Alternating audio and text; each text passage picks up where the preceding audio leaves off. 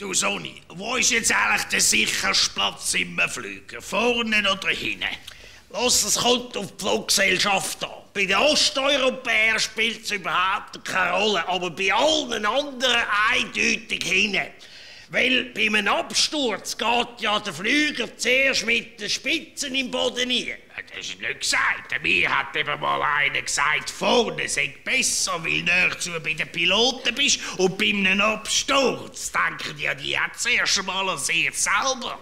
Wichtig ist einfach, dass du beim Einchecken ein gutes Trinkgeld gibst, damit die nicht beim Notausgang hocken lassen. Äh, du hast mehr Vorteile, wenn du nicht beim WC zusitzt, als beim Notausgang willst. Statistisch gesehen musst du mehr sagen, als dass du abstürzt.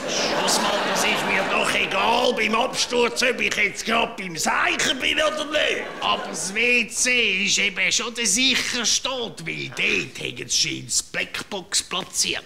Eigentlich müssten sie das ganze Flugzeug aus dem Material machen wie Blackbox. Dann würde ein Absturz auch besser überstehen. Aber hat ja wieder mal keinen etwas überlegt. Da, ich habe mal bei so einem Afrika-Flug ein Geschleik angefangen mit einer schwarzen Stewardess. Weißt du, wie habe ich deren einmal gesagt? Meine kleine Blackbox.